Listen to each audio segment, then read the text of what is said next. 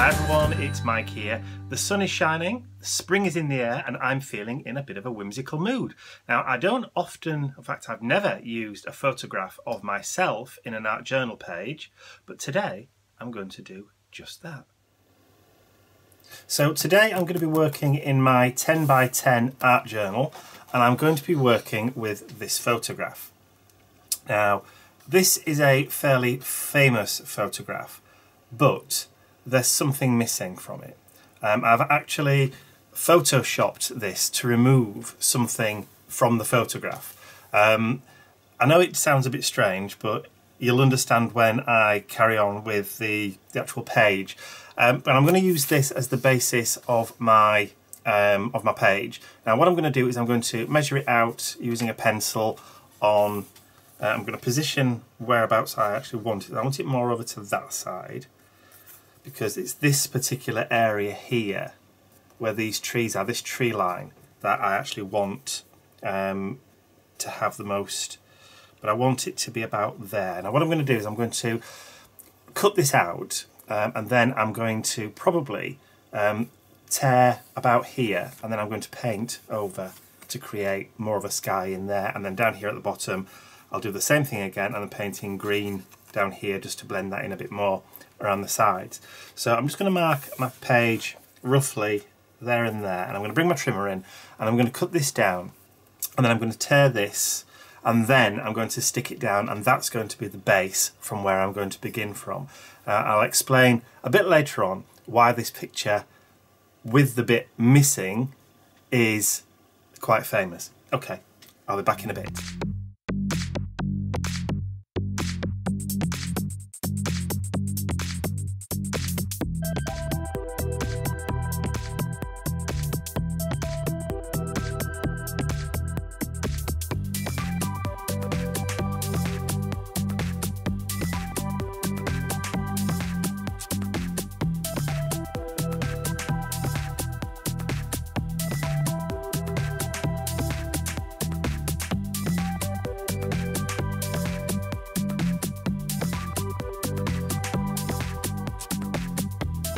Okay, so I've trimmed it and I've ripped it and I'm now just going to stick that down with a collage stick.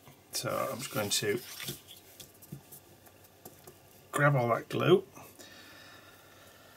and then do around the edges and just wax them in the middle. Now the reason I'm using the collage stick rather than the Mod Podge is that I did a, an art journal class this weekend um, at the store and actually I ran out of Mod Podge and I'm not being able to get any more because I didn't want to steal any from the shop. Well, I knew what I was looking anyway. Right, so that is pretty much you can see I've made a, mucky, a dirty mark on there, but that's fine because I'm going to be painting over that anyway. I'm just going to rub those edges into the page. I'll grab a wet wipe This is quite good actually because I'm not, I don't normally do um, a talk through of a, an art journal page. So doing a mixture like this is actually quite new for me. There we are. Video might end up being a little bit longer than normal, but hey. You know, there are pluses and minuses. Okay, so what I'm going to do now is I'm going to bring out some paint and then we're going to start blending this top and the bottom into the page so that it starts to disappear. Well, not starts to disappear, so you don't see the, the tears and the joins quite so obviously. So I'm going to bring in some greens, a little bit of black because it is quite dark, and also some blues with some white so that I can get a fairly decent match. But I'm not too particularly bothered if it means just bringing the paint in a little bit further just to blend it even more. So I'll be right back when I've got my paint. Okay, so I've got some very inexpensive acrylic paint here. So this is from uh, a British company called DoCrafts or Design Objectives and this Artiste is one of their brands. So I have a blue which is called Periwinkle which is a nice light blue. I have a nice soft green and I have an off-white called Storm Cloud and I have a black and I also have a deeper blue called oh, it's metallic, I don't want that one let's throw that one away and work with what we've got. And then I've, I've brought out my Dylusions cut grass green because obviously that is a bit too light. So this might work a little bit better when I mix a little bit of the black into the page just to blend it a little bit more. So we're not going to use brushes. I'm going to be completely and utterly um, dirty and actually just use my fingers today. So I'm going to mix the paint on the page.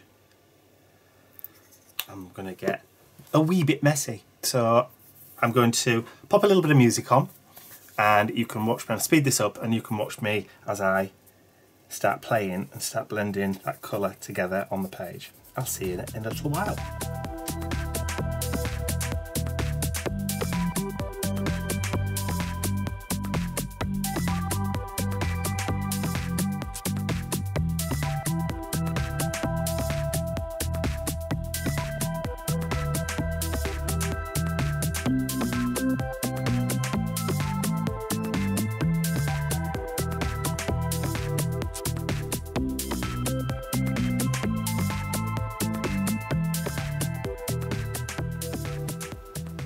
Okay, I'm happy with the top.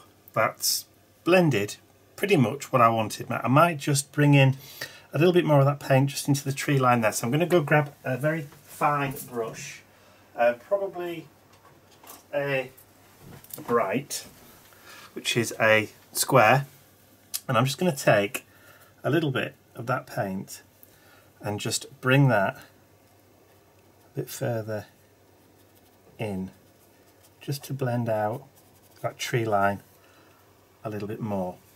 So just to add a little bit into there, just to break it up. I don't want to go too mad.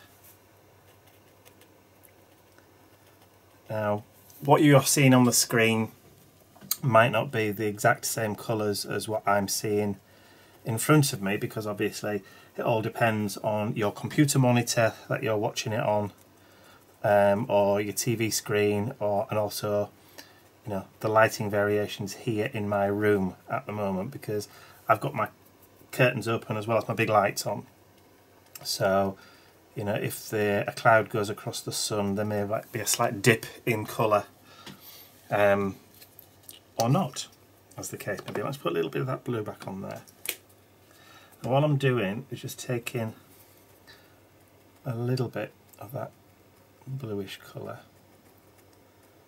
I'm just trying to bring that in as much as I can just to try and blend out that tree line without going too mad. Just softens it a little bit over this side, a bit more than I need to work I think. A bit more blue in there.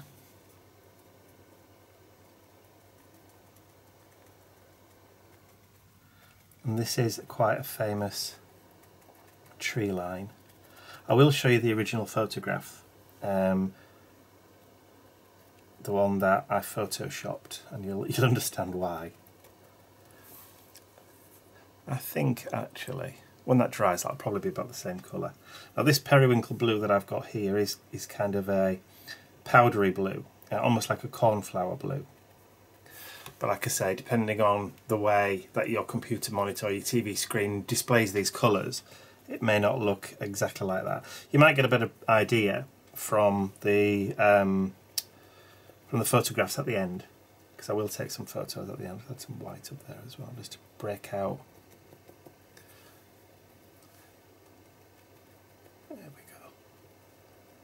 Okay, I'm going to do the same thing for the bottom now. So I'm going to clear away this paint here and bring in the greens. So I will be right back when I'm ready to do the bottom. Okay, so I've already started just mixing on my craft mat here, just with my finger. I know I'm almost, almost off, out of frame. And I do apologise for that, but it's a little bit unavoidable when you're tight for space. So I'm just going to bring there we go, that's more like it. You can see a bit better now that I'm... As you can see, I'm not being too particularly careful about the way the paint is going up into the image because it just helps to soften and blend that line, that real line, out a little bit. So um, I will bring in um, another piece of sponge that I've got here to soften and diffuse. Um, this is just really inexpensive. It's um, just a craft sponge that I picked up for very, very, very, very little money. So I'll just bring a little bit more of that lighter colour in. obviously I'm conscious I don't want it to dry totally on the page, so I'll bring a bit of that green in as well, just to get a nice bit of a mixture.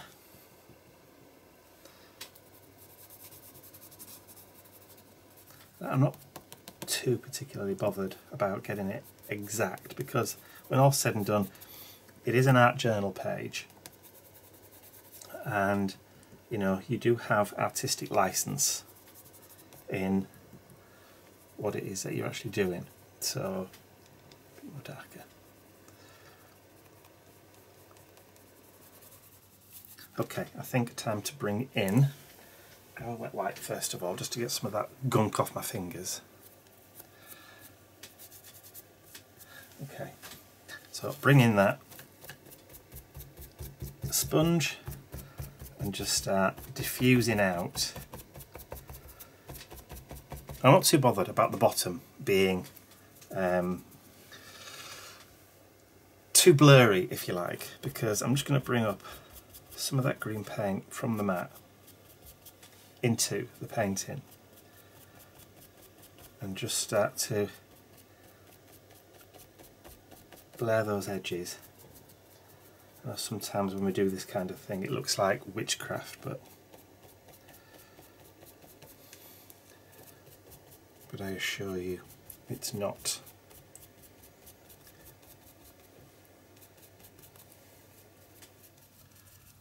And try as we might, we try and make it as easy to follow and recreate as we can. So I'm hoping those colours you know, are a close match.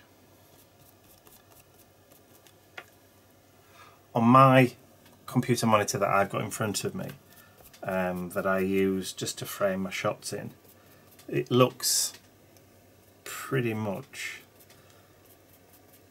what it is. So I think I'm actually quite happy with the way that's blended. Okay, that's great. I'm happy with that. So I'm going to clear all this away, get rid of all that paint that's on my craft mat, and then I'll be right back and we can make a start on the next part of the journal page. Okay, so the page is now dry. Now I just wanted to point this line out where I tore the piece of paper.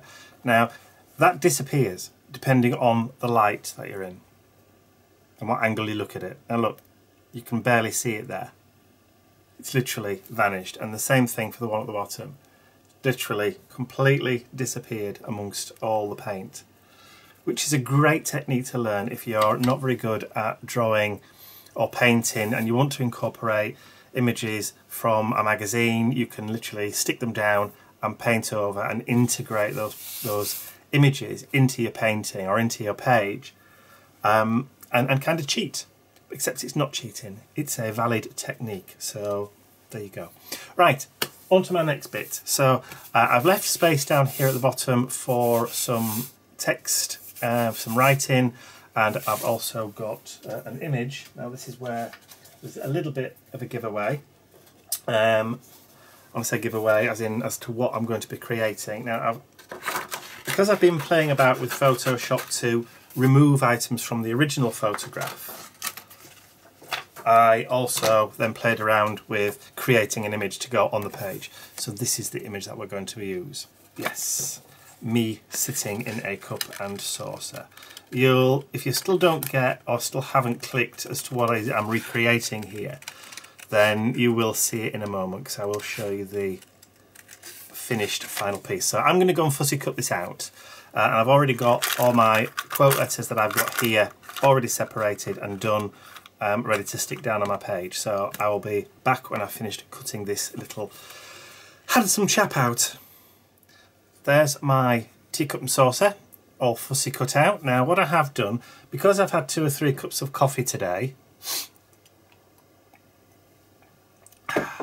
um, you know, and I'm getting on a bit, my hands do shake a little bit. So what I've done is I've actually gone round the edges of the um, cut with a distress marker and I've just used black soot. Um, that's upside down, there you go. Distress marker, black soot. And I've just touched the felt tip or the brush end to the edges just to hide any white um, raw edges of the card or the paper that, that you can see.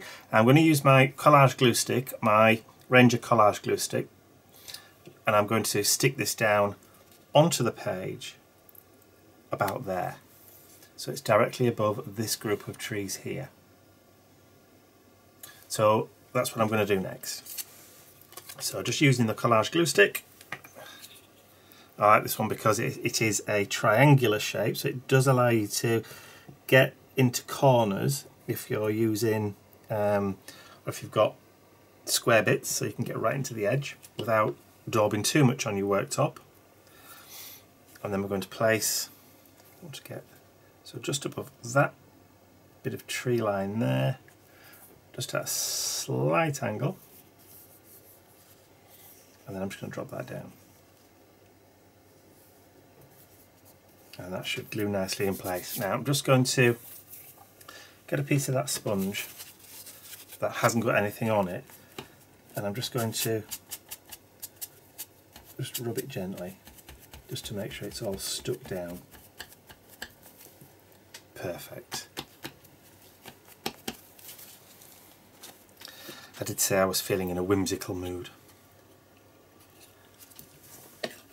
And this definitely is a tongue-in-cheek art journal page. Okay, and then the next thing is I need to glue down all of these letters. So I'm going to put you in fast forward, play some music, and you can see how all the letters get put down on the page.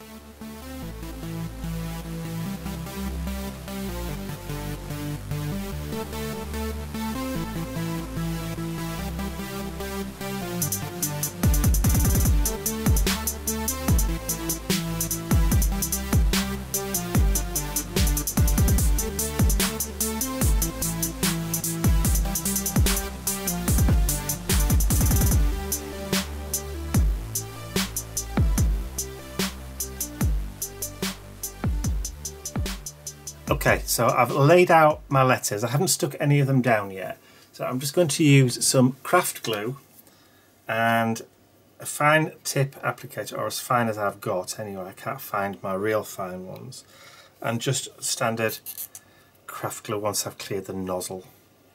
Then I'm just going to stick those down. So nothing great um, technique-wise, just a basic gluing down. So I will, once I've got my glue to work, um, I'll be right back. I can't believe how difficult this is. You know, in this day and age, they supposedly can put a man on the moon.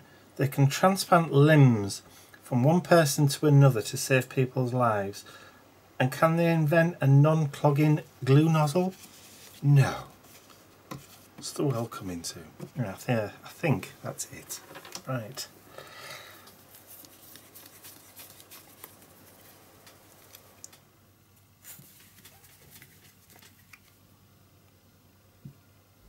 Hurrah! Okay, on with the show.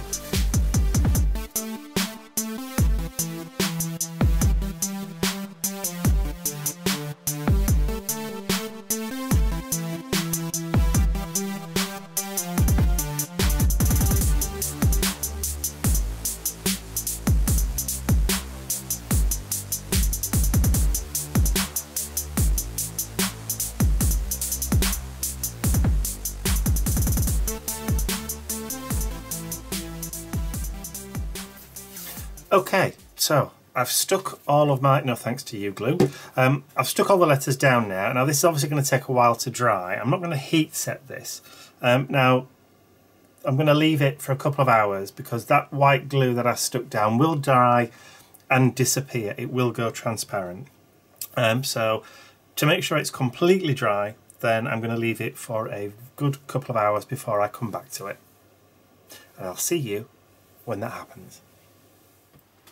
So it's been a couple of hours now and it's pretty much dry and as you can see the glue has all but disappeared and where it is left there's just maybe a slight sheen to the page but it's only just almost imperceptible so it's not really worth worrying about. So all I'm going to do now is just to border the page is I'm going to add some white paint just all the way around the edges here mostly to make it look as um, as rough and scrappy and painterly as the top and the bottom. So I'm just going to use that storm cloud again and I'm only going to use my finger like I've done previously. So I'm going to put a little bit of that paint on the page and then just using my finger I'm just going to add that just to the edges and I'm just going to go a bit rough. I'm not really going to go um, really tidily. I'm just going to blend it in and then probably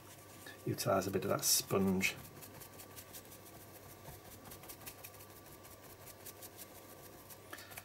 just to kind of grunge it in and do that all the way around.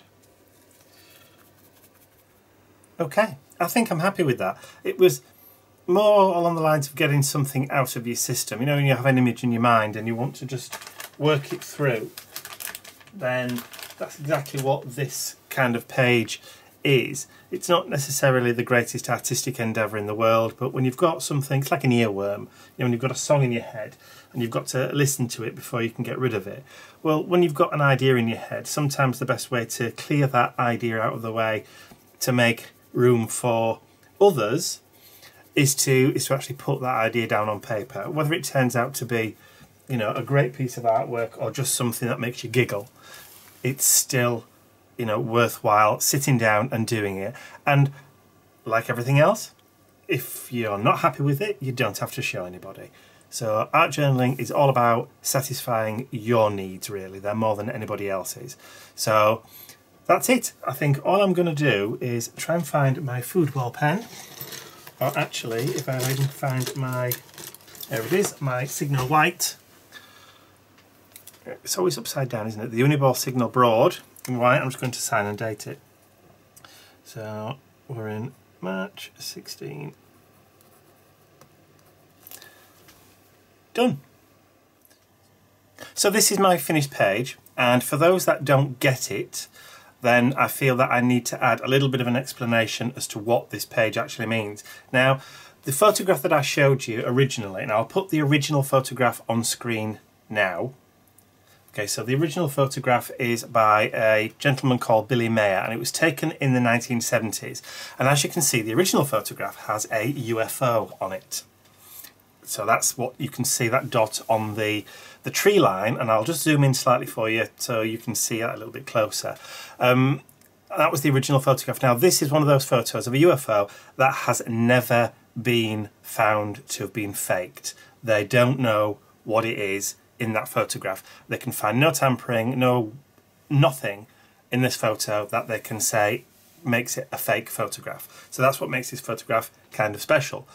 Um, the other one is, it's also and I'll put this one on screen as well, that's the poster that was taken from this photograph that was used in the X-Files TV series. So this was the poster that was on the wall of Mulder's office for 10 years or so. So it's a very, very famous photo, a very, very famous poster, and I just had to get this one out of my head um, because it was in there. I don't know where it came from, it just came there. And um, let's just go back to my page. Um, and I just had to get and recreate that same photo, but this time make it a little bit more whimsical. Now, I think it's possible because I've just recently heard that they're bringing it back. They're bringing the X-Files back, so I just hope they don't drag it out for another 10 years. So that's the background to this page. Uh, a little bit of whimsy. I just had to get out of my system, and now it's done, so I can move on. Well, I hope you enjoyed that little art journal page. Uh, a little bit of fun, a little bit tongue-in-cheek, but nonetheless, still a great page to play around with. So I hope you enjoyed it. If you did, please give it a thumbs up. And if you haven't subscribed to my YouTube channel already, you can do so by clicking the button at the end of the video. That's all from me for now. I will see you all again very soon. Bye for now.